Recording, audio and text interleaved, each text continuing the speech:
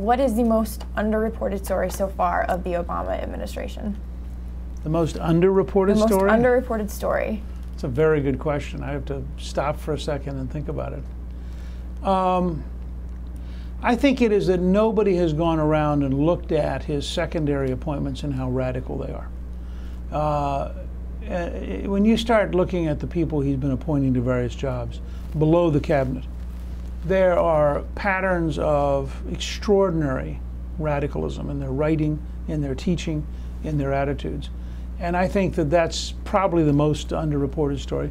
I think the second story, which gets a little bit of coverage but has much, very profound impact, nobody in the Obama senior team has a clue how to create jobs.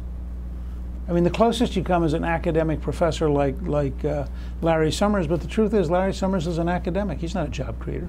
And so the president has nobody around him who has any common sense, practical understanding of what small business goes through and what you do to start jobs and how you raise capital and all that stuff. And the result is, in what is, I think, one of the things that's going to make this a one term president, uh, you have uh, no ability to craft positive programs that work. And I, I think people sort of occasionally report that, but I think the depth of its importance that, remember, in California and Michigan, if you count unemployed, part-time workers and those who quit looking, you're at almost 20%, almost every fifth person. And you don't have anything like an appropriate level of focus in this administration on job creation. And I think that's because, frankly, they don't know what to do and they don't have anyone in the room who knows what to do. And just as a quick follow up, um, on you said that that lower level of appointments, anyone specifically stand out to you? Well, the, the, the chief counsel at, at the State Department is a person who basically believes in subordinating the United States to international law.